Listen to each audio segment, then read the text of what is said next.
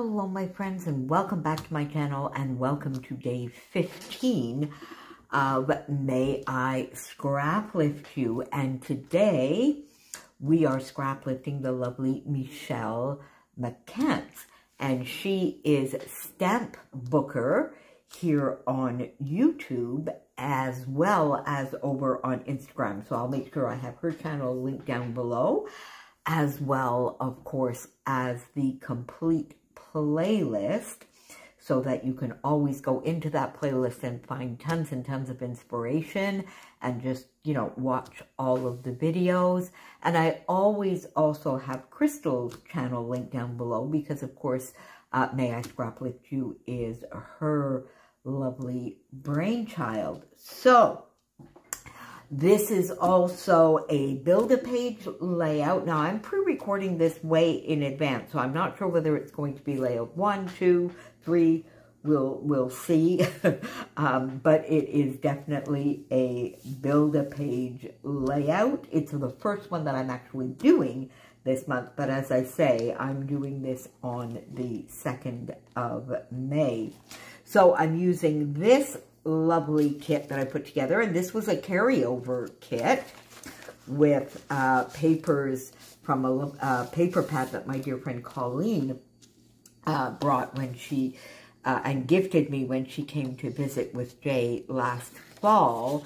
I've added this piece of paper, which was a leftover from those lovely blue kits that I was using, as well as a little bit of Simple Stories textured cardstock. So we'll look at the end what I have left over because I definitely have enough here to create another page. I'm doing a share today. You can see the layout um, that I'm scrap lifting up here in the corner. Uh, Michele does the just the, the cutest and the most and the loveliest layouts. She does a lot of layouts which are close to my heart, of course, of her puppy Finley, uh, but all sorts of other things as well, of course. So here is the layout. Now you can see that Michele used a pattern paper as the background. She framed her layout, which I did as well, of course. I gutted um, that lovely paper here. I gutted that and then used that as my frame. I then went in to get some of the whipped cream cardstock and I wanted to mimic uh, the pattern paper that Michele used as her background, but I did, because I had some different patterns here, I wanted to use uh, a whipped cream cardstock on my background. So I went into my large 12 by 12 stencils from Scrapping Reflections, Sandy Shop, I'll put that down below as well, and got this lovely heart stencil, 12 by 12 heart stencil out, and then just did some stenciling all over that page, of course, except for the middle here, which was going to be covered up. And I used a Stampin' Up ink pad, which is Pale Papaya, which I have a feeling must have been an in color at some point because it doesn't seem to be there anymore and it is in the same tones.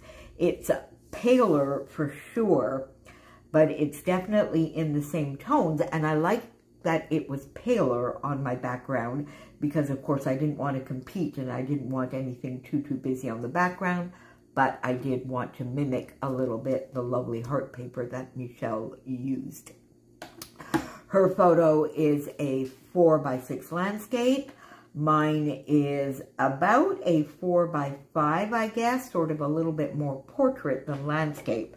But I think I achieved the same look because likely my strips here are a little bit narrower. So I took this lovely paper and this one, of course, I have quite a bit of this left, as well as the textured cardstock so that it would ground everything.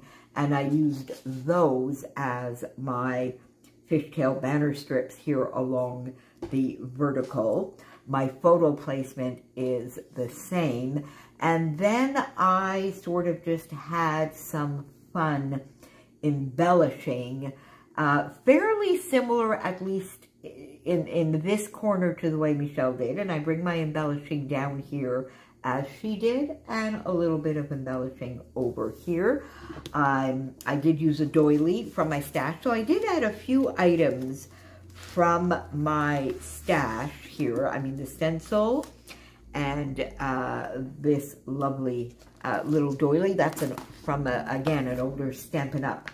set. And I have this little pouch here where I have all my doilies stored. And I'm realizing that I'm running low on colored doilies. So I may have to get a few uh, of the Doodlebug, the small doilies in a variety of different colors. But so I popped my little doily there. And then what I added to this page kit uh, is uh, this Simple Stories Wildflower uh, sticker sheet. And this is the one, I think, was it last week when I uh, scrap lifted the lovely Mel. I was showing you that layout and I, and I didn't have the sticker sheet with me because I guess I put it with this layout. And it's Wildflower. It was from a Mercy Tiara kit um, sometime last year. So I used uh, three, five different stickers here. This lovely sticker, this floral, these two little squares that I popped in here, as well as this sticker. Oh, and this one as well. So I used quite a few uh, from this sticker sheet. And then I brought in these foam uh, stickers from another Mercy Care. This is from the Celebrate kit, so a fairly recent one. And I use that for the woohoo here. So this, I'm not quite sure. I'm going to have to make sure I ask either Christina or Adele. I think this might have been um, Christina's birthday, which is at the end of December.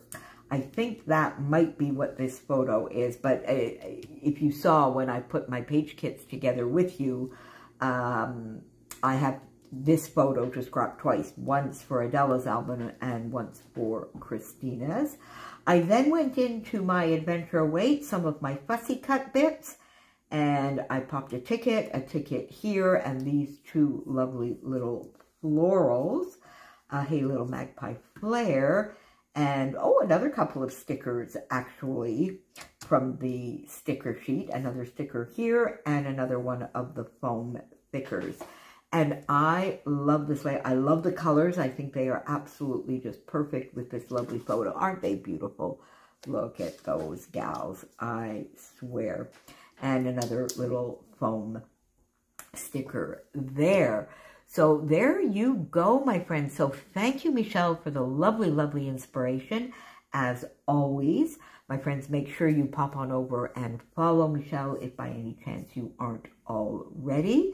Make sure you go into the playlist down below to catch up on everybody's video. And if you are playing along with us, use the hashtag hashtag may I scrap lift you so that we can find you. Tag Crystal, tag myself, uh, so that we can see what you are doing. Uh, if you are not creating videos and you post on Facebook or Instagram, tag us uh, and use the hashtag as well.